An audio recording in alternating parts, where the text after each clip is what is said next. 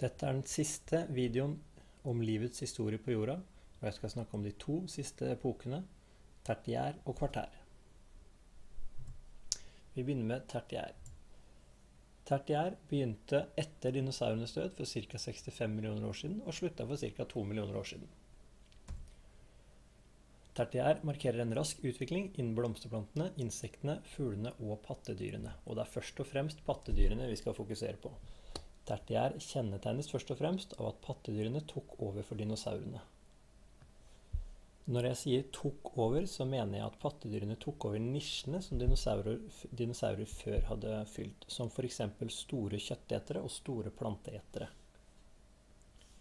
I tillegg så utviklet pattedyrene sine egne nisjer, som f.eks. klatredyr og gravedyr.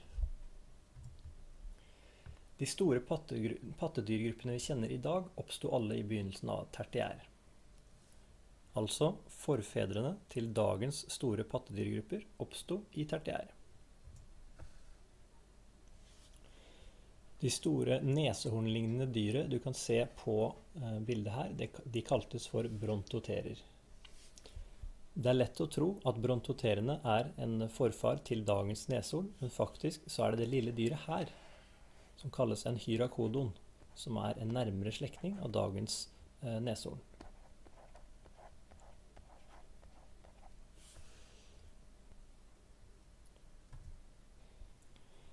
Vi skal også snakke litt om menneskets utvikling under tertiær. Under tertiær så ble slekten Australopithecus utviklet. Australopithecus det var mest sannsynlig foreløpere til dagens moderne mennesker. På bildet kan vi se hvordan en kunstner har forestilt seg Australopithecus. Dette bildet er da basert på fossilfunn. Australopithecus levde for ca. 4 millioner år siden i Afrika, to millioner år etter at menneskets stamtre ble skilt fra sjimpansens. Det er mange som tror at menneskene stammer fra sjimpansene, men det er ikke riktig. Menneskene og sjimpansene har derimot en felles stamfar som levde for ca. 6 millioner år siden. Vi skal se på hva jeg mener med det nå. La oss tenke at vi har vår felles stamfar markert ved x-en her. La oss kalle han for the missing link. Arten som the missing link hørte til, skilte seg i to grener. Den ene grenen ble etter hvert til moderne sjimpanser, og den andre grenen ble etter hvert til moderne mennesker. Hver gren kunne kanskje dele seg i to igjen, eller tre noen steder, Noen av grenene døde ut, men til slutt så vil den ene grenen ha utviklet seg til mennesker, og den andre grenen ha utviklet seg til sjimpanser. Kvartærtiden er den siste epoken i livets historie. Den begynte for ca. to millioner år siden og var delt opp i to.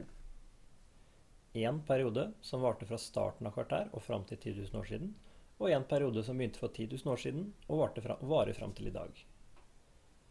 Kvartærtiden blir ofte kalt den store istiden.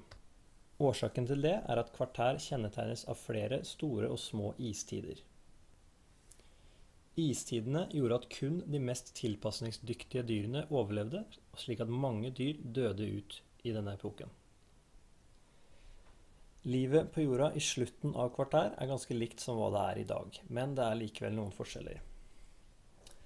Eh, de store pattedyrene har forsvunnet. Blant de er jo mammutene, som vi kan se på bildet her, sabeltanntigeren, som vi ser på bildet her, og de ullhåra neshornene. Disse eksisterer ikke lenger, men levde sent i kvartærtiden.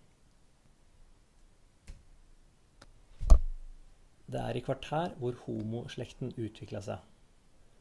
Ordet homo har, har, i denne sammenheng ingenting med seksuell legning å gjøre, men er navnet på den slekten som menneskene tilhører. Homo habilis er navnet på de eldste medlemmene i homoslekten. Vi kan se et bilde av Homo habilis her.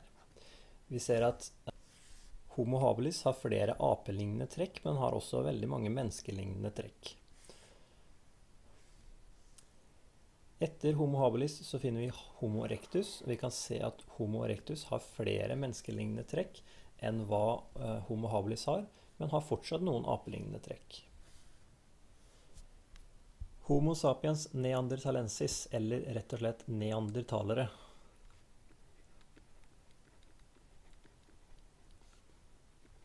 Kan vi se på bildet her. Neandertalerne var ikke forfedre til dagens moderne mennesker, men de er likevel i nær slekt med oss.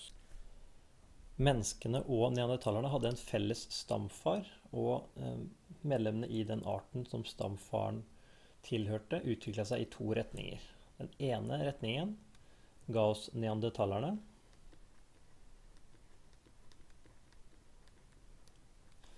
Og den andre ga oss da dagens moderne mennesker, som vi kaller for Homo sapiens.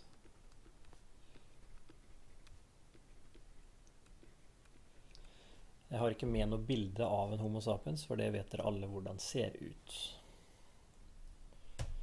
Vi skal oppsummere. Tertiær og kvartær er de to siste epokene i livets historie. Tertiær begynte for ca. 65 millioner år siden og slutta for ca. 2 millioner år siden. Tertiær kjennetegnes av at pattedyrene utvikler seg til de dominerende dyrene. Kvartær er som vi så i stad delt i to, og den siste delen er varte fra 10 000 år tilbake og fram til nå.